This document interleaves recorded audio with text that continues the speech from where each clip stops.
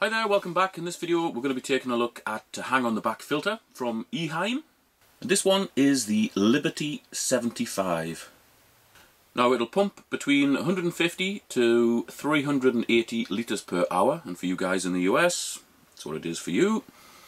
Apparently it has 240 cubic centimetres of surface area as filtration in here and you'll see in a minute why that is just absolute nonsense. It's only 2.5 watts and it is without a doubt the ugliest filter I have ever seen in my life. That's it there. And that is what Eheim believe a modern filter should look like. I mean that would not be out of place in 1950s Czechoslovakia. Right, so the water goes in, and you can adjust how much water is drawn in and therefore how much water will come out. It goes down to the pump. You're probably not going to be able to see in there, but it swirls around in the bottom of here and then it goes through these two cartridges and back out to the pond. Uh, not to the pond, to the aquarium, sorry. That is what Eheim think is suitable for a 75 litre tank. A tiny little piece of coarse foam and a little bit of like a felt sort of material which has been impregnated with carbon which you have to replace ideally once every four to eight weeks which soon gets expensive but that's not the worst of it. Because the water goes from the pump section that way and then back out to the tank. This cartridge with the carbon obviously wants to be last in the system but only fits in first.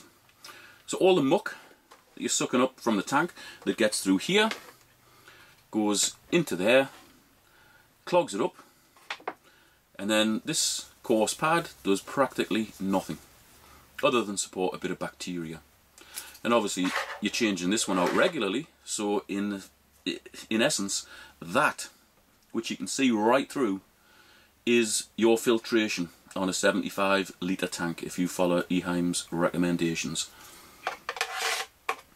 However, all is not lost because they do have a second option for this sort of setup which I'll show you now. And it comes in the form of that cartridge, which is a reasonably large block of coarse foam.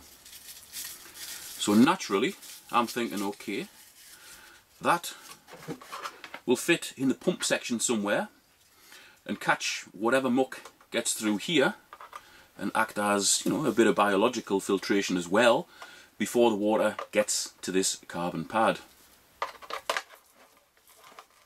No, it won't. This is meant to be used instead of those two. Where is it? In there. So you've got this huge filter and that. And you get more foam in a 9 or 10 pound, uh, that is pound as in like the currency pound, not the weight pound a basically a cheap internal filter which you can pick up for next to nothing. And I'll post a link to Amazon where you can see how much they're charging for that. I'm not going to tell you how much it is. If you're interested, check it out. It is absolutely ridiculous. It's going to sound harsh, but Eheim are just laughing at the people who support them with this or the likes of this. It's awful. Absolutely awful. However, as far as an upgrade goes, let's see what we can do. We might as well make the most of a bad situation and if any of you guys out there have got one of these, here's my take on what you could do to make it a, a, a yeah, not a bit more efficient, considerably more efficient. Okay, so fitting a big block of foam on there takes care of all of our mechanical filtration. Just take that off, squeeze it out under a tap or in the sink, whatever. You're not going to worry too much about losing bacteria if you do rinse it under the tap because in here we're just going to fill that with filter media. 250 gram bags of bio gravel. Oh, you're in there. You're in there. Get in. Right. That's one right in the bottom. Yeah, it's a pretty good fit.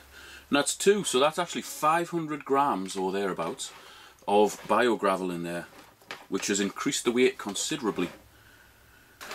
Of course, you can put loose media in there, but if you ever want to clean it out, you've got to tip the thing upside down and then clean it out. Whereas with this, you just take that out, give it a rinse in a bucket of water that you've drained from the tank, and stick it straight back in again. That, to me, is the easiest way to increase the efficiency of this particular filter. It doesn't look pretty, but it never did to start with. Certainly can't make it look any more ugly. So just as a reminder, I'll show you what we were working with and what we're now working with in the way of filtration. So before, we had this tiny, thin, coarse pad, this replaceable, very fine carbon felt pad, which would need replacing regularly, and a little bit of sponge that went on the intake. Not much there for 75 litres. After the upgrade, we've got our mechanical filtration. Probably doesn't need to be that big, but that's just the size of foam that I had. Poked a hole in on the bottom. Then we've got 500 grams or thereabouts of bio gravel. That is a hell of a lot more filtration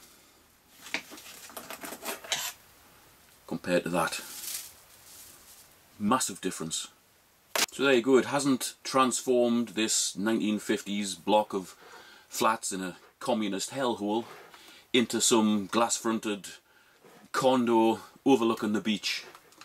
But what it has done is made it much more efficient. I would imagine that the Eheim fanboys will be out in force again, bashing me in the comments, but this is a bloody awful looking filter. It's horrible. Absolutely awful.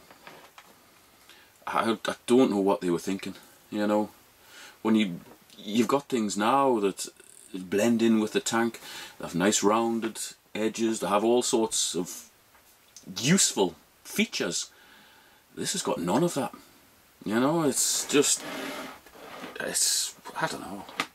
I honestly don't know what's happened to Eheim. Going from hero to zero.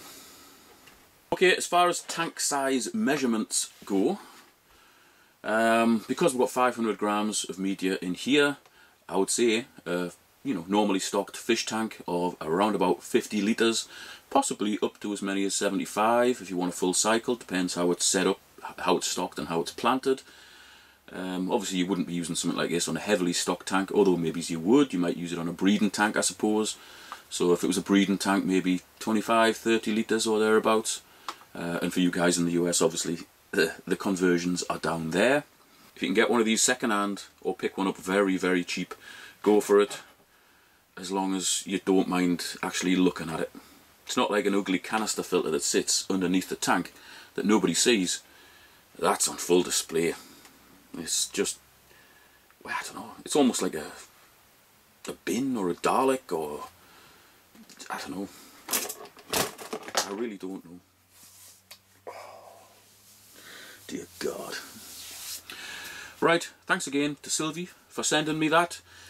If anybody out there is actually using one of these, please put how you found it and what you've done to improve it, because you must have done something to improve it in the comment section. It's what that comment section's there for. Uh, yeah, and thanks again for watching.